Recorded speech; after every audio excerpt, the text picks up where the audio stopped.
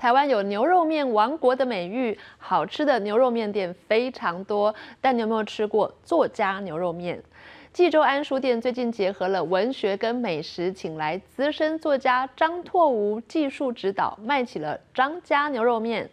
这碗面还是已故诗人周梦蝶最喜欢的老友牌牛肉面。它不仅仅只是一碗好吃的面，还富含着对过往岁月的思念。谢谢。胡越、方子、杨景玉、林黛曼、杨艺梅等一位位知名作家出席站台，都是为了他。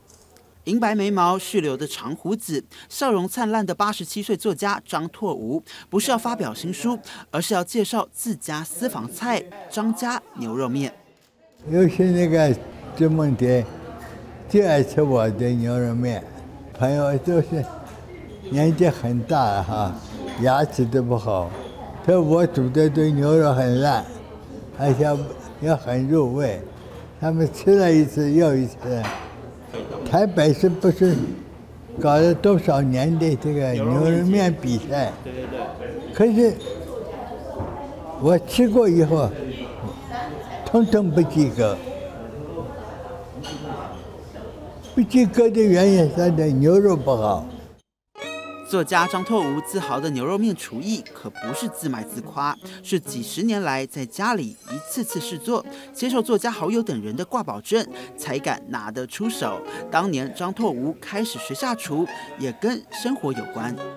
我去吃牛肉面也不是第一次了，以前也有时候会到他家去，他也会做别的东西给我们吃，他很能干，很能干。当然可能也是逼出来的。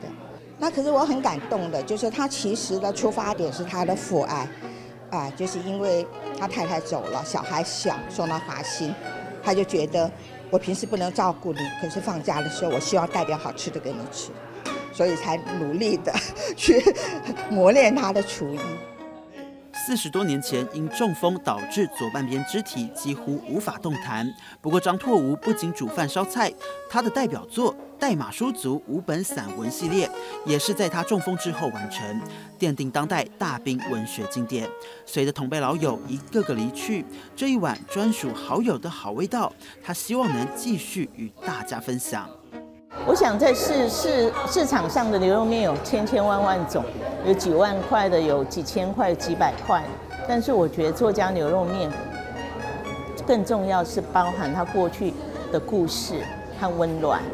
在书店餐厅吃作家私房菜，一碗有故事的牛肉面，好滋味不在于价钱高低，要品尝的是里头包含着什么样的酸甜苦辣人生经历。